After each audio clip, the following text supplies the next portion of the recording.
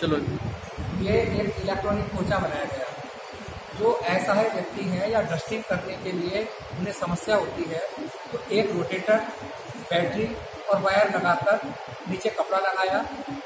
एक डिश पर एक कपड़ा लगाया गया। है जैसे ही हम स्विच को ऑन ऑफ़ करेंगे, ये पोचा अपने आप ही घूमने लगेगा। और हमारी डस्टिंग या सफ़ाई कोई भी आसानी से की जा सकती है।